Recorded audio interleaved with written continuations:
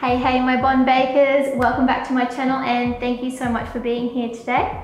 I'm going to show you how to make self-raising flour from regular flour.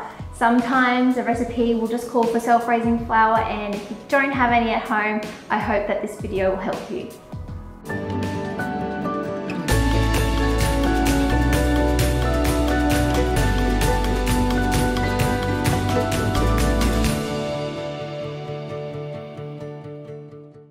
Self-raising flour comes with the addition of a leavening agent and that's gonna help it rise and become light and fluffy while baking. So that's what we're gonna do today. And I'm gonna show you that we've just got here uh, some regular flour and I've got myself some baking powder. All you need on top of that is a whisk and a bowl.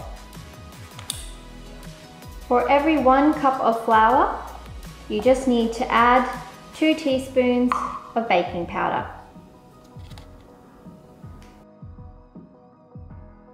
Then you just need to give it a whisk in your bowl. You could also use a sieve and your self-raising flour is done.